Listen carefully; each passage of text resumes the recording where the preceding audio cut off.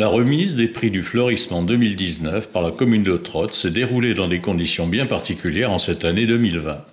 Elle a eu lieu le 12 juin, en fin d'après-midi, à proximité de la serre municipale et en plein air cette fois.